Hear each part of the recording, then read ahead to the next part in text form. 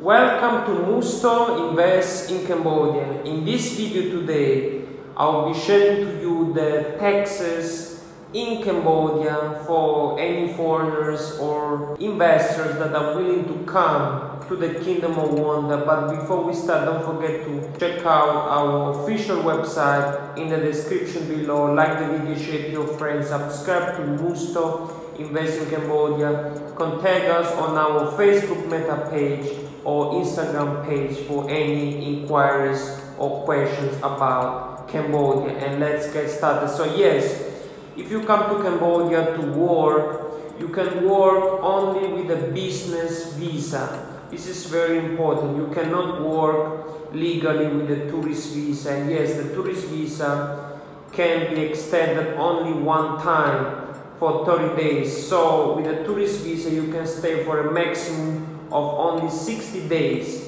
And talking about salaries, if you work for a Cambodian company or you open your own company, legally you need to have a working permit. And to open your own company, you need to have at least a six months multiple business visa. Talk about salaries. You earn at least 1.3 million riel per month or around 320 US dollars. You don't have to pay any income tax. Or if you hire people, if they make $320 or less, they don't need to pay any income tax. But if you make $320 to $500 or 1.3 million, 2 million riel per month, you have to pay a 5% income tax.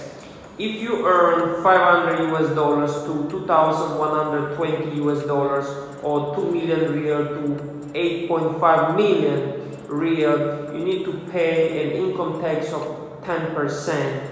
And if you make 2,120 US dollars to 3,100 US dollars, you need to pay an income tax of 15%, that's 8.5 million riel to 12.5 million riel. If you make more than 3,100 US dollars or 12.5 million riel, you need to pay an income tax of 20%. So in Cambodia, you don't need to pay more than 20% in income tax.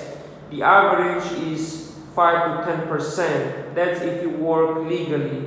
And yes, if you have a working permit, you need to pay to the Cambodian government between 100 to 150 dollars per year if you want to work legally. If you have land and you don't use that land, there is a 2% tax. And the VAT tax in Cambodia is of 10%. If you have residential property, you need to pay 0.2% per year. And yes, if you have a business and you rent a building, a house, or anything to run the business, you need to pay around 10% in tax.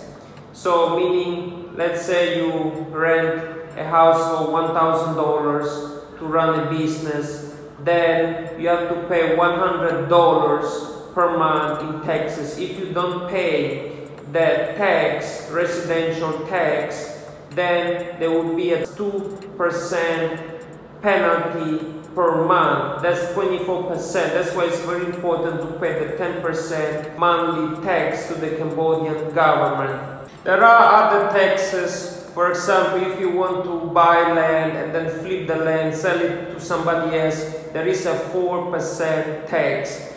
There are also other taxes, but if you have more questions or any other questions, don't hesitate to comment below. Contact us on our Facebook meta page or Instagram page. Thank you so much, and I'll see you next time.